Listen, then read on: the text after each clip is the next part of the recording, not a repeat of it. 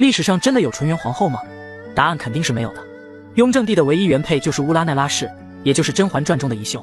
但跟《甄嬛传》演的不一样的是，在雍正帝的心里，乌拉那拉氏跟他结婚四十年来，始终对夫君恭敬，对公婆孝顺。《中国后妃全传》这本书中说，乌拉那拉氏十岁就嫁给了十三岁的四阿哥胤禛，在四阿哥的私邸生活了三十年，并且她跟四阿哥胤禛一起经历了康熙晚年种种残酷的宫廷斗争。后来四阿哥胤禛当上了皇帝，她也被册封为皇后。她曾经也给四阿哥生过一个儿子，只不过早早就夭折了。后来她就再也没有生育过，即便没有一儿半女，但她依然稳坐皇后之位。雍正帝跟她依然夫妻和睦。